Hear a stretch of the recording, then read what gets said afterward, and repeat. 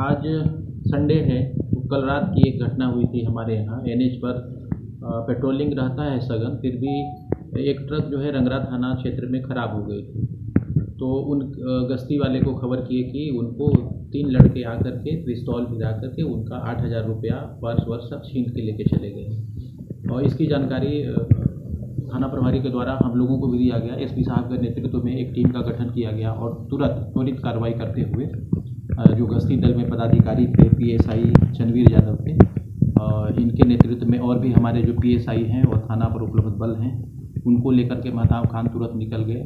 और निकलने के बाद में उसमें जो गाड़ी का नंबर बताया गया था, उसके आधार पर एक लड़के को हमने गिरफ़्तार किया।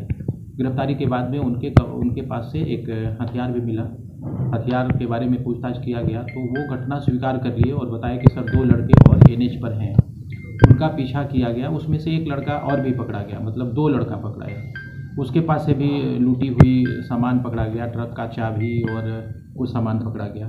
फिर उनसे पूछताछ की गई तो उसको तो बताया गया कि जो आप आ रहे थे तो एक लड़का भाग गया है और शायद वो घर पर होगा। फिर घर पर रेड किया गया। तो मतलब कई रेड करने के बाद में लूटे, लूट करने वाले तीनों लड़के पकड़े गए। उनके पास से जो हथियार यूज़ किया गया था, वो भी पकड़ा गया। और जो चालक हैं उनके द्वारा रिपोर्टिंग की गई थी कि आठ हज़ार रुपया मेरा ले लिया गया है। तो थोड़ा थोड़ा रुपया सबके पास से बरामद हो गया और आठ ही हज़ार रुपया बरामद हुआ है। लूटा गया उनका पर्स बरामद हो गया है ट्रक की चाबी बरामद हो गई है और उनका आईडी कार्ड वगैरह जो लेके गए थे वो सब बरामद हो गया है। तो ये एक अच्छी सफलता है और विद इन थ्री आवर्स ये घटना को उद्भेदन कर दिया गया है।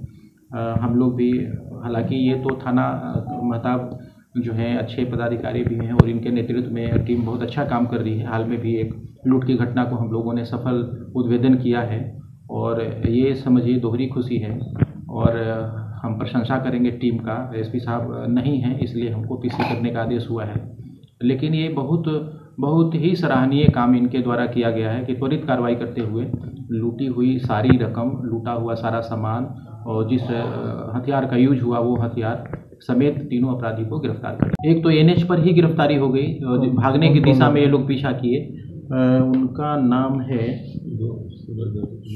हाँ सूरज और सूरज के बाद में एक जितेंद्र।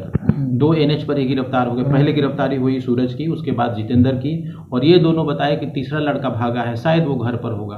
तो घर पे रेड किया गया तो घर पे पाए गए। कौन उसका नाम है अमरीश कुमार। बताइए। हम्म। नहीं नहीं नहीं। मान लीजिए अच्छा थोड़ी देर में आप कॉल करते हैं अभी पीसी में है।